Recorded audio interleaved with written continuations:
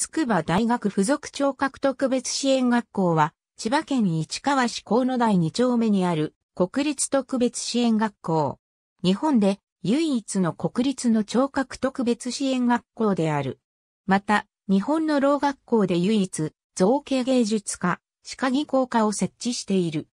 1875年5月22日、慶応義塾初代塾長、古川正夫の発案により、津田線、中村正直、岸田吟香、ボルシャルト、ヘンリー・フォールズが、フォールズ宅で集まり、盲人学校を設立するための主体、楽善会が発足。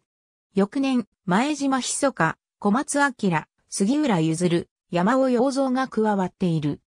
1884年、聾唖者の教育も受け入れることとなり訓盲唖院と改称。1886年には、楽前会から文部省に移管されて、管立学校となり、1888年に東京盲和学校と解消された。1909年、盲和分離が実現して、東京盲学校が設立され、翌年に増子ヶ谷の現在地に移転。東京盲和学校は東京老和学校と解消された。東京老和学校は太平洋戦争中に戦災でさすがや校舎を失い、1946年に現行地である千葉県市川市河野台に移転した。戦後の学生改革では国立の学校数を減らすことが意図され、東京教育大学の附属学校の一つとなる。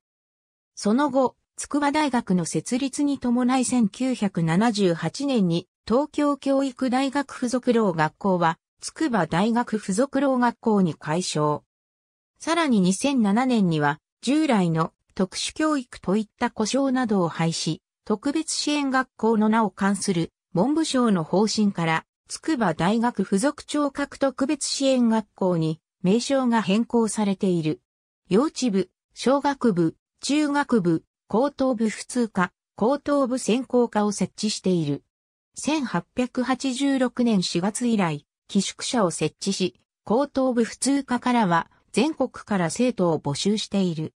幼稚園、小学校、中学校、高等学校に準ずる教育を行っている。ありがとうございます。